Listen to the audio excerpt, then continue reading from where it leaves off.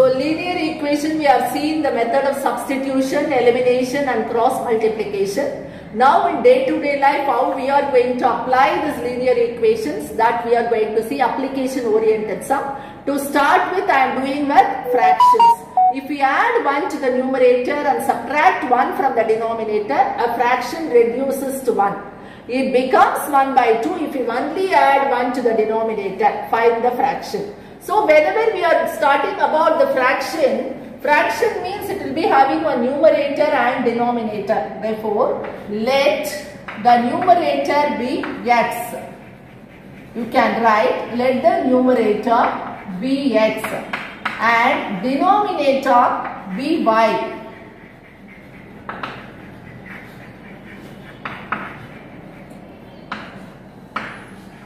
What will be the fraction? Fraction will be equal to x by y. So the fraction is x by y that is what you need to find out finally. So here what is the condition given if we add 1 to the numerator. So x plus 1. So 1 to the numerator and subtract 1 from the denominator y minus 1. The fraction reduces to 1. So this is your first condition given. So on simplifying this one what will you get? x plus 1 equal to y minus 1 or when you are going to bring this variable here x minus y will be equal to what when this plus 1 goes here minus 1 so it becomes minus 2 this is your first equation. Next what is the second condition? It becomes half if we only add 1 to the denominator. There is no change in the numerator. If we add 1 to the denominator, so y plus 1, it becomes half 1 by 2.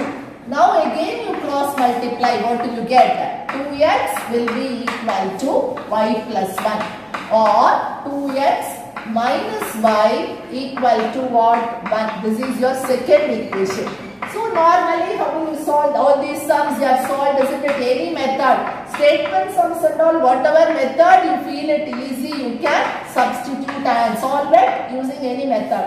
So here I got minus y coefficient minus y minus y so I can use that elimination method by subtracting one over the other. So subtraction. So what will I get? y and y getting cancelled 2x minus x is x 1 plus 2 is 3. Now I got x value as 3. So I can substitute, substitute. x is equal to 3. n 1. So what will I get?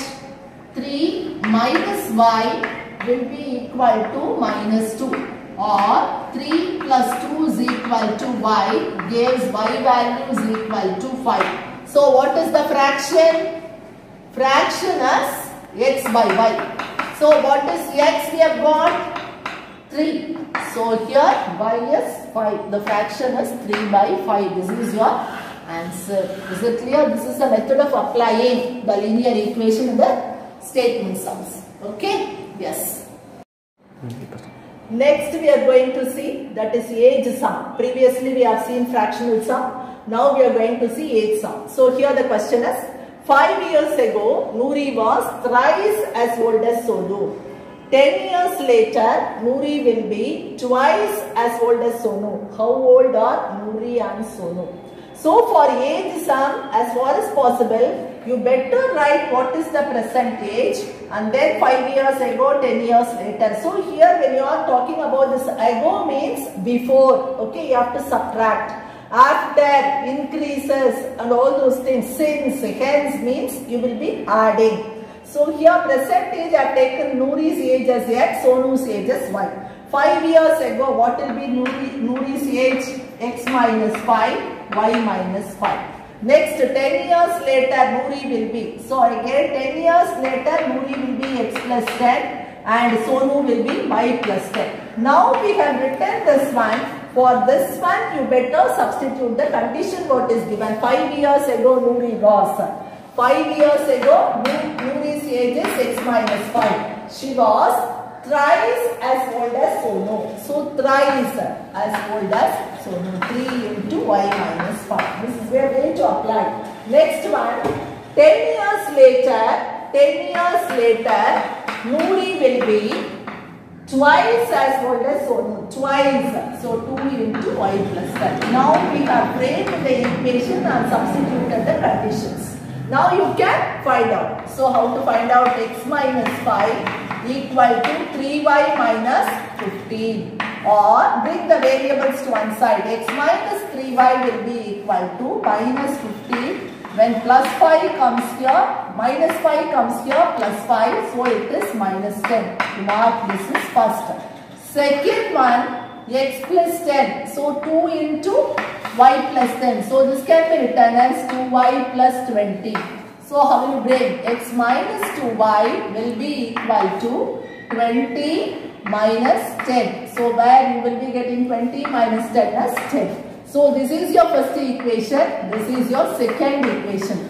Now you can solve again the variable x. You have got the coefficient s1. Again you can eliminate that is elimination method you can follow. Change the sign and then add. So you will be adding like this. x and x getting cancelled. Minus 3y plus 2y. So minus y. Again minus 10 minus 10 minus 20. So where you will be getting y is equal to 20. This can be substituted and find out what is Noori's age. So here what you can substitute here. So x minus 60 will be equal to minus 10 or x is equal to what 60 minus 10 which is 50. So now we have got Noori's age 50 years. Sonu's age 20 years. Understood? This is the method application oriented sums. This time always remember to write like this for age sums. It will be easy. You will not commit any mistake.